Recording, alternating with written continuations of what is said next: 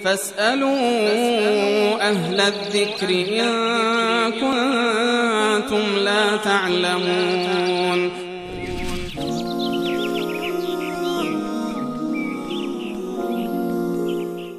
بیننده دیگری سوالشون اینه که آیا موندن طعم خمیر دندان در دهان بعد از شستن دندان و رفتن آن به داخل بدن با آب دهان موجب باطل شدن روزه می شود یا خیر؟ خمیر دندان استفادهش در ماه مبارک رمضان هیچ گونه اشکال شرعی ندارد جایز هست و ماندن طعم خمیر دندان در دهان هم, شکننده روزه نیست. و به صورت کلی حتی برای زنانی که برای چشیدن غذا و تعیین مقدار نمک غذا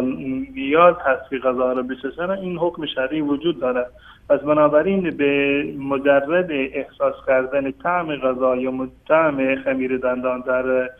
دهان این در واقع سبب شکستن روزه نمی شود و اگر بالفرض این تعمی که در دهن مانده بود و نهایتا با آب دهان وارد بدن شد باز هم این شکننده روزه نیست مگر زمانی که جرم خمیر دندان و مایه خمیر دندان را فرو ببرد. در این صورت روزش می شکند اما اگر مجرد فقط و فقط همین طعم خمیر دندان است که بعد از مسواک زدن در دهان مونده این شکننده روزه نخواهد